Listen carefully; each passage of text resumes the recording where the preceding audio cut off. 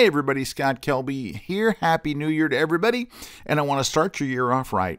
I want to save you maybe $1,002.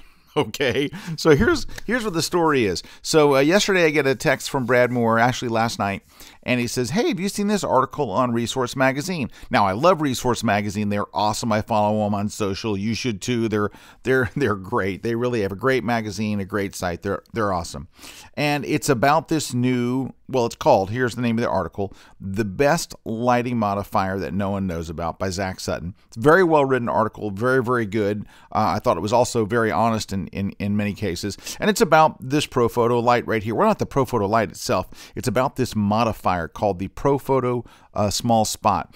And uh, the whole it shows lots of examples, but this is what it does basically right here is uh, this this it's like a snoot and it allows you to carve it right over the area you want, so you get this nice bit of just like a hint of light, right?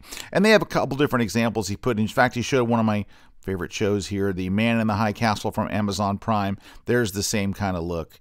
So anyway but that's basically what it's about. He shows a couple different examples and he goes on and on. And by the way let me just say this about profoto their lights are awesome they're insane they're built like a tank it's why all the big pro rental houses use them love profoto love resource nothing about these guys however like they say here in the article which i thought i thought uh, Zach did a great job on it, and he was very honest when he said it's it's way overpriced for a.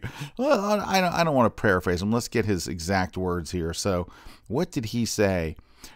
The Gobo kit is overpriced. Premium price tag. Premium price tag. It's a thousand two dollars. okay, now it's probably the best snoot or best small spot ever made in the history of all of them probably is. Uh, it'll. He even said, I believe, that it'll work on other lights. Like he tried, I think he tested it on an AlienBee. So it's not just for Profoto stuff. But what Brad said is, dude, why don't you go show people how to do it in Photoshop? And I'm like, well, we can get pretty close in Photoshop. So I'm like, okay, let's do that. So that's what this is about.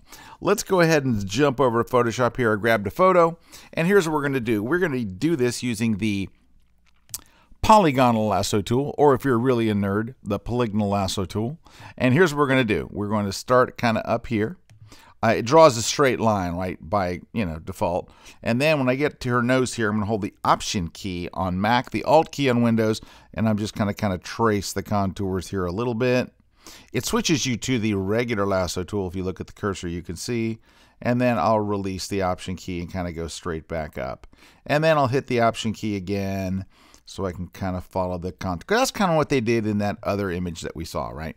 Now, we have to soften the edges up, right? Or it will be it'll look too funky.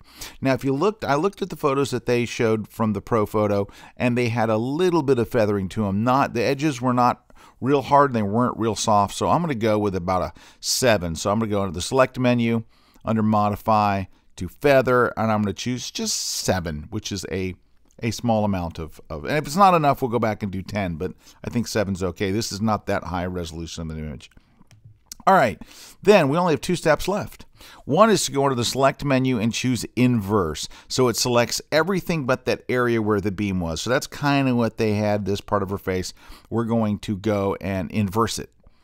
So now it's we've selected everything but that beam now we're going to go image adjustments and we're going to go to levels. You can do this with levels, you can do this with curves, you can do this with camera raw, pick your pick your favorite. And what I did was this.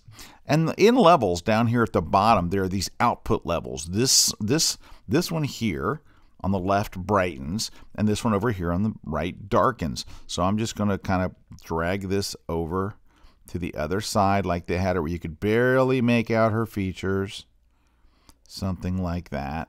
Click OK, and it's, you know, it's kind of the same look there. I mean, it's not dead on the money, but, you know, it's a thousand two dollars still left in your pocket. So anyway, that's that's how we're starting off 2017, and and uh, I don't mean anything bad to, of course, Resource or Zach or Profoto. Um, I just, you know, Brad thought, hey, you ought to show how to do it in Photoshop, and hey, I, I, I just did. So anyway, uh, thank you guys for watching. I want to wish you guys the very best 2017. I hope it is your best year yet. I hope it is filled with love and laughter and tons of great images. All right, we'll catch you guys later.